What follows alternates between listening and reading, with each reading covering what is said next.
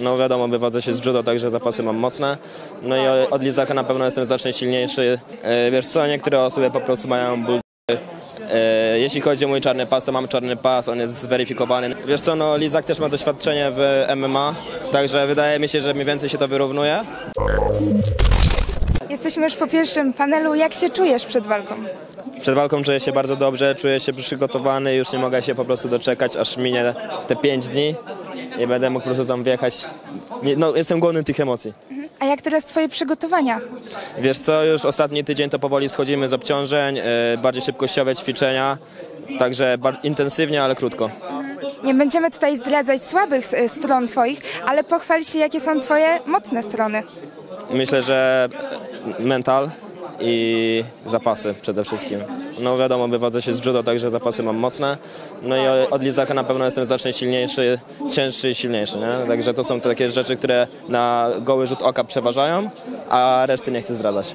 Właśnie po pierwszej konferencji e, powstało dużo plotek i internauci dopytują się, że to chyba nie jest prawda z judo. Jak ty się do, do tego odniesiesz i dlaczego oni to dementują? E, Wiesz co, niektóre osoby po prostu mają ból Jeśli chodzi o mój czarny pas, to mam czarny pas, on jest zweryfikowany na oficjalnych stronach, można to sprawdzić, mam certyfikat w domu, także myślę, że nawet pochwalę się, pochwalę się nim gdzieś u siebie na Instagramie, żeby po prostu zdementować tą plotkę. A tym osobom pewnie głównie chodziło o to, że nie miałem większych sukcesów sportowych, jeśli chodzi o Mistrzostwa Polski czy inne zawody po prostu, nie? Jakoś e, nigdy nie udało się wywalczyć wyższych miejsc na tych zawodach, dlatego. Czy przez to doświadczenie właśnie czujesz taką większą przewagę i jesteś taki pewniejszy siebie? Wiesz co, no Lizak też ma doświadczenie w MMA, także wydaje mi się, że mniej więcej się to wyrównuje. Ale no wiadomo, no, gdy, gdybym nie, nie miał takiego doświadczenia, nie wziąłbym walki z takim dobrym zawodnikiem, nie? A właśnie jak zareagowałeś na wieść o tym przeciwniku? Czy miałeś na przykład kogoś innego na oku? Wiesz co, nie, no to przyszła do mnie taka oferta już wcześniej, tylko wcześniej nie mogłem jej zaakceptować, bo mój brat miał, miał mieć walkę w ten sam dzień. I już wtedy powiedziałem, okej, bierzemy tą walkę, nie, ale mój brat miał mieć pierwszą zawodową walkę.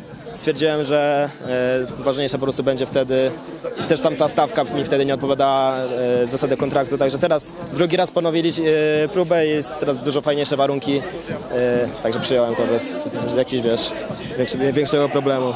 Jak wiemy, masz też e, aferę z Natanem Marconiem. Dlaczego i jak to się wszystko rozpoczęło?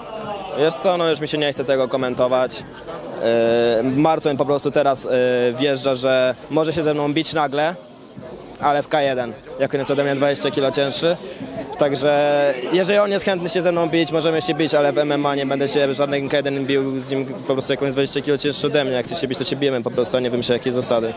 A całą sytuację komentować, to już mi się nie chce tego komentować, bo już było to powielane parę razy, nie?